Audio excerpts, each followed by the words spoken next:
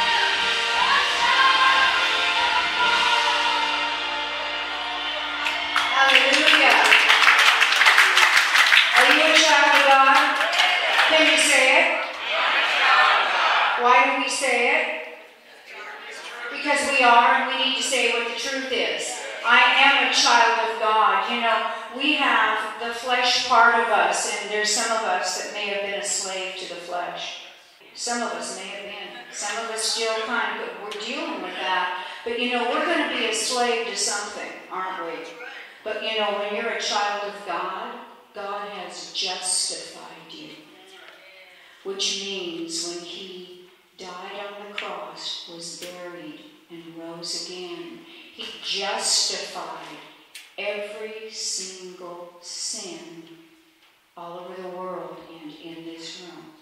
Can you give him a hand? He justified you. So he loves you so much that he carried the sin. We hear that story, but we don't realize how does that affect me? I have been justified. I have been covered so that the Father sees me pure. Can you imagine your Heavenly Father looking at you right now in this room where you came to worship God tonight? And He says, I see you, and you look pure to me because I sent my Son, and He justified. He washed away all sins. There isn't one He left behind. No need for guilt and shame and pain. There isn't one he left behind. He justified you, and you are, as a child of God, filled with the Holy Spirit. Amen. Can you give him a hand? You know, we humans do our best to do our what God did is supreme. And I'm amazed every day when I think about what God does for us every single day and how He justified us. And then in that side of that Holy Spirit, the next thing He did was because He knows us, He created us, He put us in the mother's womb, right? And He knew already what we would be and what we would go through and the choices we because He predestined us, Scripture says. So He gives us another way out. Do you know what that is? He sanctified. So He doesn't, all of a sudden, you're saved and you're this perfect, holy human, right? He sees us holy and perfect, but He sanctified us. We're all working on sanctification. Sanctification. And what it means to us is this when we're sanctified, it means that when I first got saved, I'll personalize so you can think of yourself. When I first got saved, I knew my sin had been washed away because of an experience I had. I was on my knees at this school and accepted Jesus, got on my knees, and I cried all day long as my sins went before me. That was my, my moment of realizing I had been justified. And then after that, I saw this, um, um, what do you call it? Brand. I saw a brand, a cross, being put on my forehead. And I was a child of God. And then the first class I took at this college, at this church, I learned the word sanctified. Sanctified. And we can't sanctify ourselves, try if we will. We can't work our way to being good. We can try, we can serve, we can do everything that the Christian leaders tell us to do or whatever it is, but we cannot sanctify ourselves by works. Only the Holy Spirit can sanctify us. And once we get saved, justified, then that sanctification begins. And once we are sanctified, that means the Holy Spirit is working inside of our soul. And He continues that good work inside of our soul.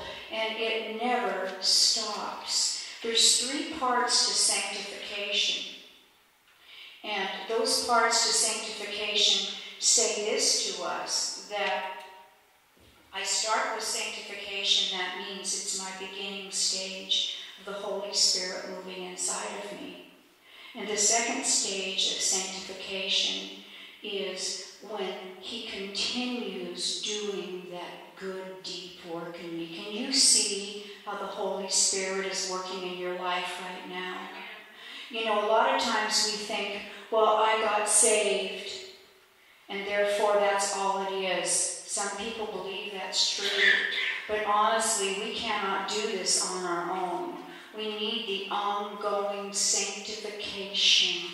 So I studied the word sanctified, and I really wanted that word to happen in my life because I felt like I had been washed clean. Does anybody feel washed clean in his house tonight? Amen. Give him a hand. You've been washed clean. It's a big deal. It's a big deal because you can't wash yourself clean. And then he starts that sanctification, and in your heart, your process of life begins to change. And why is this happening? It's because the Holy Spirit is in you. You're never alone. We've been discussing. But the sanctification is the work of the Holy Spirit. And then you think to yourself, if I'm sanctified, if I'm sanctified, maybe I'll get holy. Maybe I'll maybe I'll get perfect. Have you ever heard people talk about those Christians? They're hypocrites because they think once you're saved, you're supposed to be perfect, right? I mean, what what a lie that is. You know, we are perfect in the eyes of God, but this work of sanctification will carry on till when? Till we see the Lord face to face. It's not going to happen here on earth. It's going to happen when we see God face to face. The sanctification process is ongoing, just as when we ask God to forgive us, He does. And as we become more and more holy, we become more and more humble. We become more and more surrendered. We become more and more like Jesus. And our goal as a Christian is not to pray to get what you want. But our goal as a Christian is to receive what God has to give you. God has special gifts, special things He wants to give to us. And He gives them to us at the perfect time. That sanctification is ongoingly happening. But let's say I ask for it and I don't get it. So I begin to what? Doubt. And if I doubt, I come out of the Holy Spirit. Right? I just pulled myself right out of the Holy Spirit because I doubted, because that's the opposite of peace, which is living in the Holy Spirit sanctification. So we want to stay in the Holy Spirit. Do you know how you would recognize when you're not in the Holy Spirit? We all sin and fall short of the glory of God every single day. And what we do with that sin is we go quickly to the Father and say, Please forgive me, I sinned. Wipe this one away. You know, get, get rid of this sin. And then we go right back into the peace and the sanctification of the Father. and the Father continues to fill us up with the power of His love and His presence. And He continues to move us forward into trusting Him more. As Angie was saying, you pray. She prayed for years. The prayers were answered. That's the sanctification process. If we turn our eyes from we pray and then we go tell someone else about what we see that isn't happening. What did we just do? We came out of the Spirit. And we're slowing down the sanctification. Now, I speak of this because our goal here on earth is to become more like Jesus, not to live in the big house on the hill. Amen? But our goal here on earth, we're talking deep tonight, is to become more like Jesus. Every day we should desire that first. I want to glorify God. I want to become more like Jesus. Take our eyes off the problems and put them on the promise.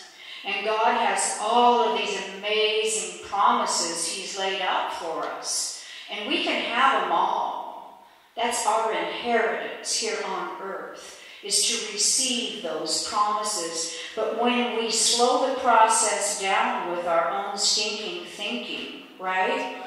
That's when that sanctification process is still at work.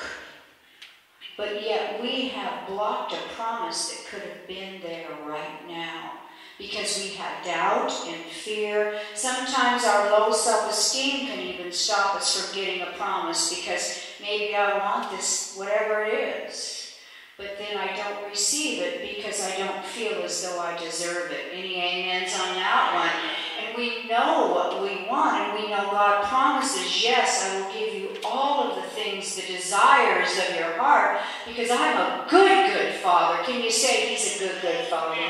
And that good, good Father wants you to have those promises, and He wants you to stay in the sanctification process. He doesn't want you to doubt or fear because He is in you. So if you have a promise, let's just pray right here. If you have a promise and that sanctification process is with you, Father, we just ask in the name of Jesus that you remove from each of us the blockage because of our own thinking. We want the sanctification of the Holy Spirit to flow through us like water. We want it to flow through us like water, purifying our minds, purifying our thoughts, helping us see things through your eyes, not through our own eyes. We want to be holy, Lord God, and we know that you are holy. And you give us here on earth the opportunity to be sanctified, to be holy, continue moving in the sanctification process, Lord God. Father God, in Jesus' name, I pray over my brothers and sisters tonight that they will lay down the problem and they will reach for the promise.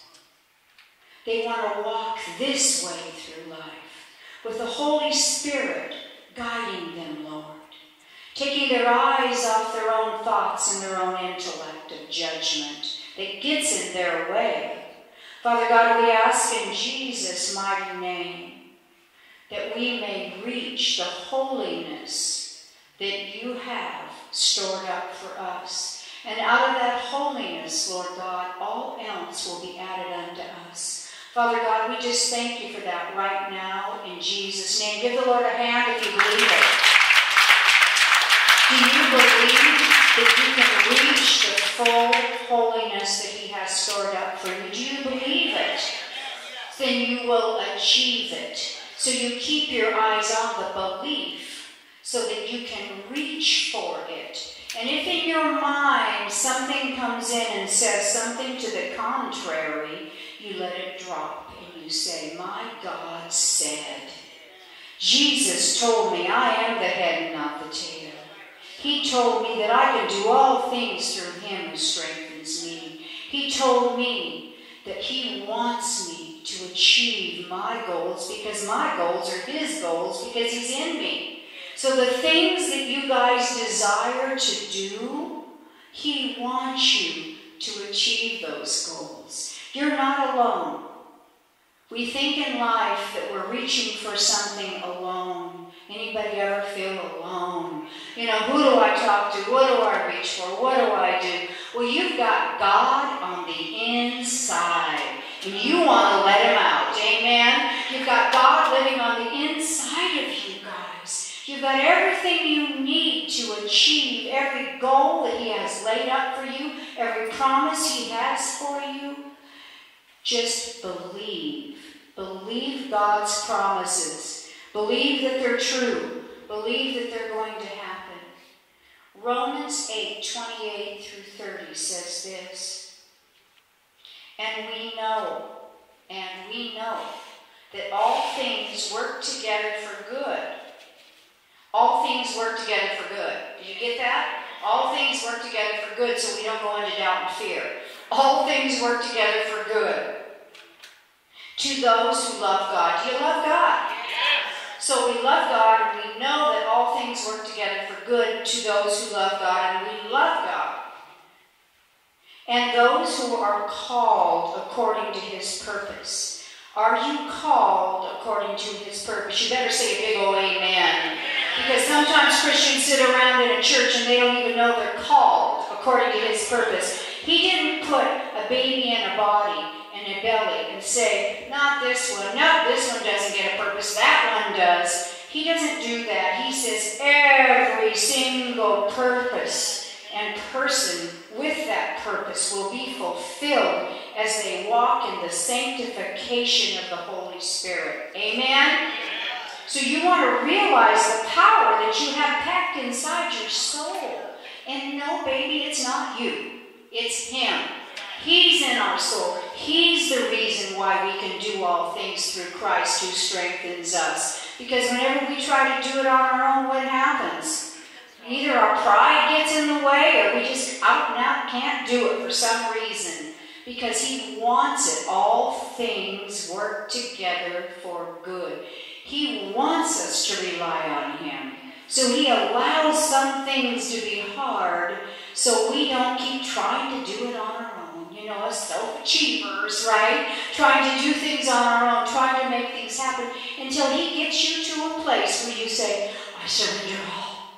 I give up. I'm not going to try anymore, Lord. And all of a sudden, you stand up, and you know what happens? It begins. The promises start flowing because you're not trying to achieve. You're out of the way. He says, Scoot on over. I live in here. Scoot on over. Make room for me to flow through you so you can be what I created you to be. So you can do what I created you to do. Every person in this room has a mighty purpose. There's not one person in this room that doesn't have a mighty purpose. But if you get your eyes off your problems and onto your promise, get your eyes on Jesus and the Holy Spirit walking around with you all day long, I just really want to bring that into you that you are walking right now. You're sitting in that chair. I'm walking. You're sitting in that chair, and you are not sitting in that body alone. There's two of you in there. You got the Holy Spirit living inside of you.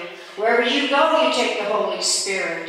Whatever you think about, the Holy Spirit hears. You want to be aware that the Holy Spirit lives inside of you. If you have a decision to make, how easy it is to make a decision when the Holy Spirit gives you the wisdom you need to be able to make that decision. Lord God, we just thank you right now for the Holy Spirit to help us this coming week to make those hard decisions. Help us, Holy Spirit. We all have decisions and things we need to do, and we just need to rely on you. We need your wisdom. We need your spirit. And to have more of Him, what does the scripture say? We have to have less of us. I have to have less opinions. I have to stop striving. I have to start letting the Holy Spirit move before me. He goes before me, but you know what else? He's behind me and he's protecting me, and he's on both sides of me. I am I am safe as I walk through each and every day because the Holy Spirit is surrounding me and living inside of me. Can you see that in your mind? And the difference to know that you know that you know that you are walking in the presence of God Himself right now. And the title of our service tonight is Walk This Way. So we want to walk this way. We want to be a slave to God. We don't want to be a slave to some of those things we've been a slave to before. I don't know about you guys, but I've been a slave to a few things. I don't want to be a slave to those things. I don't want to be a slave to physical things. I don't want to be a slave to anything but the power and the love of God Himself. Can you give Him a hand? Because He is so good. He is so good. Scripture goes on to tell us this works to, for good for those who love God and those who are called according to His purpose. For those whom he foreknew, he also predestined. Did you know that God has a predestination for you? This is in Romans 8 28 through 30. I suggest you study it daily and realize that you have a predestination inside of you. It's already been created. All you need to do, and that's why at prayer time we just say we seek the Holy Spirit. Because the Holy Spirit will bring us to that predestination. All we need to do is move out of the way and stop being self willed. That's the answer. Easier said than done.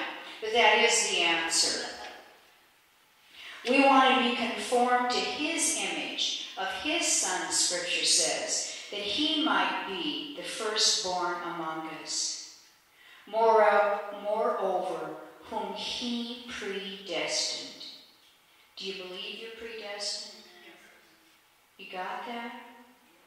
So you know if you seek God, that predestination will come to pass. Do you know that? Is that exciting? If you seek God, what He's got planned for you will happen. That's that. That's that. He also called us, justified us, and whom He justified, He glorified. And He glorified Jesus Christ, who sent the Holy Spirit that lives in you. So He glorified us because the Holy Spirit is living inside of us. Amen. Is this a new perspective, perhaps? I'm watching faces and I'm here seeing people thinking this is different. Well, it's the truth. It's the truth. Therefore, here comes the punchline to this to me. The reward verse is number 31. This wipes out all fear. If God is for us, who can be against us? Say that with me. If God is for us, who could be against us? Amen. Being a slave to the Holy Spirit gives us life to the full till we overflow with goodness. Being a slave to the flesh brings death. I'm saying, brothers and sisters, let's walk this way.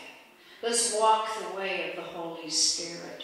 And let's surrender ourselves to the Holy Spirit tonight because we want to be legally owned by God. I don't know about you, but I want Him to dominate me. Dominate me, Holy Spirit. The only thing I want to be dominated by is the Holy Spirit because I hate domination by humans. I'm one of those get back, right? I know, I can't stand it. But you know what? I surrender 100% to the Holy Spirit. Shall we pray? Come on up, Ange. Keep on laughing, girl. Come on up. So we want to, we want to surrender to the Holy Spirit. And we're going to pray, and if anyone wants prayer after or during, once I put the mic down, come on over and I'd be glad to pray for you and with you. So right now, we want to rejoice that God is so good. But Lord, we need to surrender. So, folks, close your eyes for a minute. And if you need to surrender more of you so that you could have more space for Him, because He lives in you, and there's only so much space in that body, in that head, in your way of thinking. So, Father God, in the name of Jesus, we surrender it all. Lord God, take our minds, take our mouths, take our lives, take our bodies. Father, you created us, you placed us, you predestined us. You have a plan for us to prosper us and not to harm us, but to give us a hope and a future. Hallelujah. And Father God, I just pray that my brothers and sisters tonight will surrender themselves so that they can walk that way of the Holy Spirit. Lord God, I ask for this in the name of Jesus.